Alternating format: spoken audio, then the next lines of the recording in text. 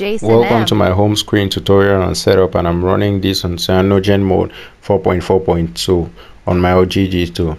This is my lock screen. I use dynamic notifications which helps me have notifications first and with my clock that's how I like my lock screen notifications and clock and that's it. I use Nova Launcher and that's the accordion the accordion animation and I have also the event flow clock widget I like my things set up very simple but also in good order. As you guys can see very neat. I really really like the power toggle widget which I use it. It keeps my toggles on my home screen whenever I'm there. It just toggles my stuff on and off easily. I use Timely as my alarm clock which is very very handy very very beautiful. It has a lot of themes and it's very good looking. I really like that app it's a good alarm clock. I also use pop-up widgets which helps me pop-up widgets as you can see as the name says. Pops up your widgets makes them look like icons and saves you space on just having only one home screen that is useful.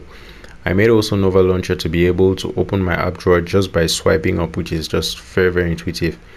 My weather widget is um, one weather which has very cool widgets on my Nova Launcher settings, everything is pretty much just stuck with just a little bit of modes that I did and modified myself. The grid is 5x4 as usual, just the normal grid. I turned off all shadows because it was giving me shadows at the top and bottom. I made my um, scroll animation accordion because that's just sleek, very sleek animation.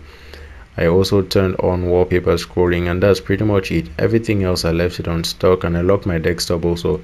In case any of my friends came around tinkering with my phone it was not going to change my icons. I use softkeyz for changing all my soft key buttons. As you can see down there not stock soft key buttons. I use softkeyz to change and has so many different icons. You can even decide to hold an icon and change the soft keys to your heart's content and that's pretty much it guys. That's what my home screen tutorial looks like. If you like the video please leave a thumbs up and subscribe